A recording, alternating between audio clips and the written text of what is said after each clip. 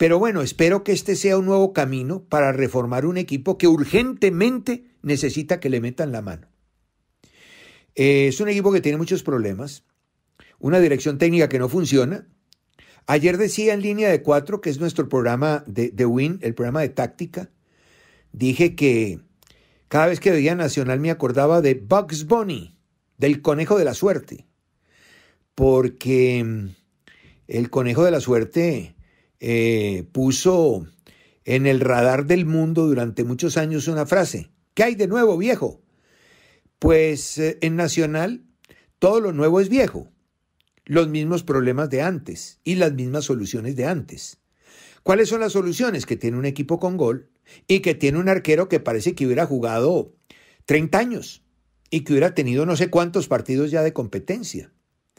Hace Mier unas cosas de arquero con recorrido impresionante. ¿Ah? Impresionante.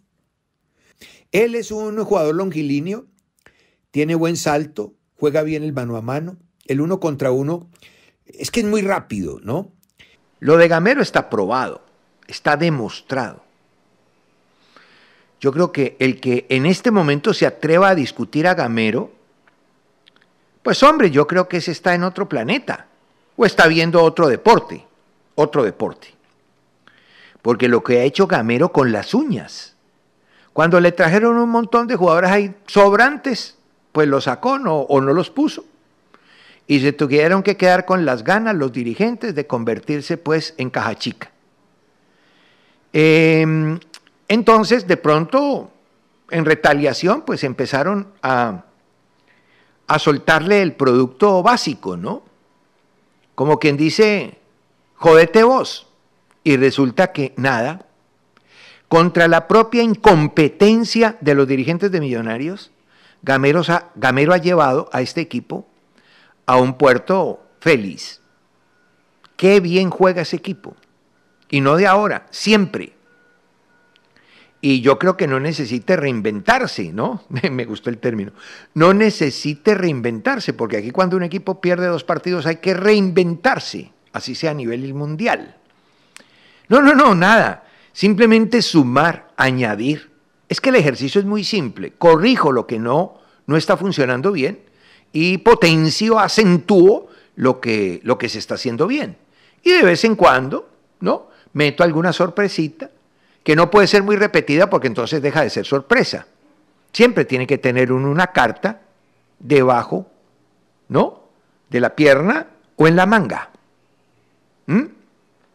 Y Millonarios tiene alternativas, pero alternativas a bajísimo costo, en formación. O sea que Millonarios está haciendo la formación de los jugadores, termina la fundamentación de los jugadores, los exhibe, los pone en vidriera y de paso tiene que sacar puntos. De paso tiene que competir. Y de acuerdo a la gran mayoría, tiene que ganar. Bueno, es una ley inexorable de los equipos grandes.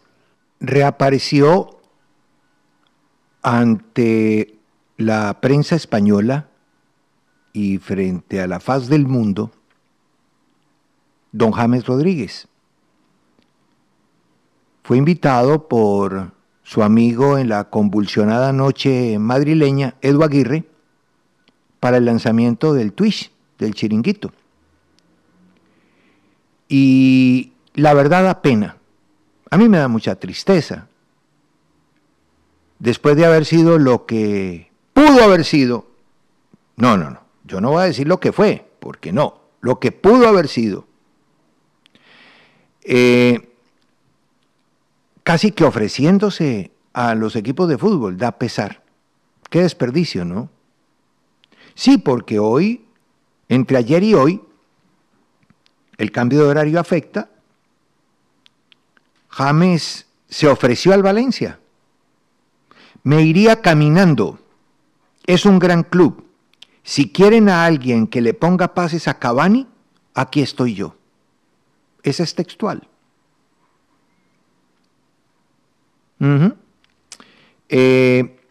No es fácil encontrar este episodio en el mundo del fútbol, es muy normal muy normal que los empresarios ofrezcan los jugadores y que los empresarios llamen a los periodistas, los asalten en la buena fe y estos convencidos que tienen la, la, chiva, la sueltan. ¿Qué le dicen los empresarios a los periodistas a los que usan? Mira, están llamando a fulanito de tal, de tal equipo. O hay posibilidad de que mi jugador vaya a tal o cual equipo. Y mencionan los dos o tres. No que están interesados o que quieran, sino a los que ese mismo empresario les ofreció el jugador. Ese es un mecanismo de promoción que suele, es muy común, suele suceder. Y anoche el mensaje que le mandó Carlos Sierra al técnico, pues hombre, yo creo que también merece, ¿no?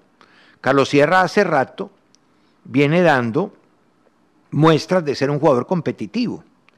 En el América ha jugado 134 partidos, ganó título, 25 goles y es el rey, el amo y señor del remate de media distancia.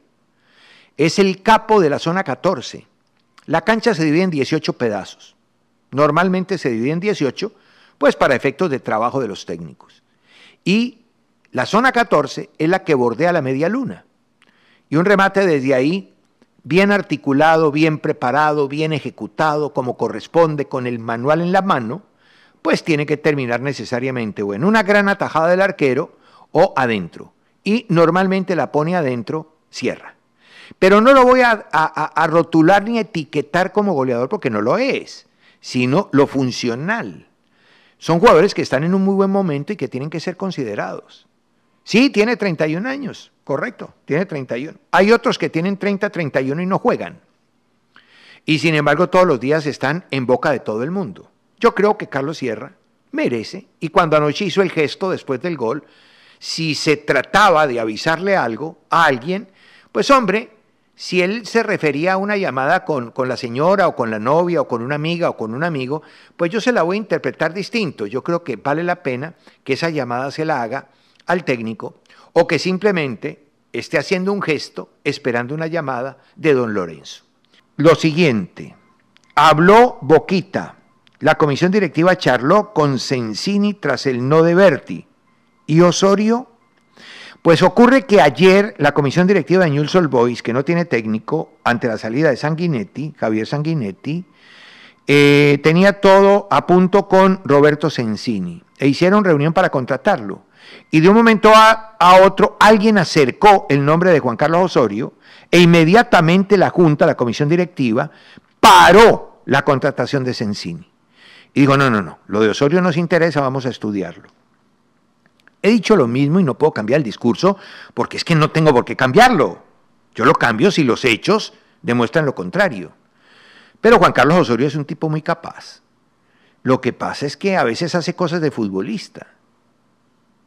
Juan es un hombre estudiado, meritorio, competente, pero a veces hace cosas de futbolista. Porque todos somos un desastre. Como seres humanos nos comportamos a veces indebidamente, incorrectamente, no hacemos lo que debemos hacer. Sí, todos lo hacemos, todos lo hacemos. Pero es que hay unas cosas más visibles que otras y unas más dañinas que otras, ¿cierto? Y en el caso de Osorio, él se ha hecho mucho daño con unas actitudes pues que no funcionan. Entonces, mire, para un profesional de su talla, de sus antecedentes, de su recorrido, de su, de su prosapia, hombre, algunos comportamientos no van. Y yo creo que él tiene que, y no voy a tocar eso pues porque no tiene importancia. No, sí la tiene, pero pues para efectos de un comentario deportivo no. Y no me quiero pues meter en cosas personales, pero, pero Juan debe saber qué es lo que tiene que revisar, porque es que no puede echar por la borda todos los esfuerzos que hizo durante tantos años. Él en Inglaterra tuvo que hacer muchos esfuerzos, en Estados Unidos yo lo sé, tiene una carrera, joda, difícil, es muy parecida a, la que hemos tenido muchos y, de pronto en algunos casos hay gente con más, con más dificultades y sin embargo pues salen adelante y, no todo es muelle, no todo es color de rosa, no todo es papita para loro. Y, después de tantos esfuerzos, tirarlo por la borda no tiene sentido.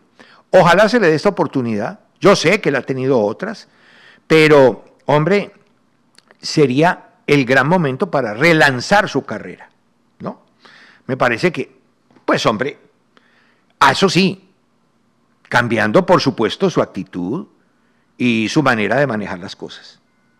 Lo digo con todo respeto, aprecio y cariño porque lo tengo. Así no hable mucho con él.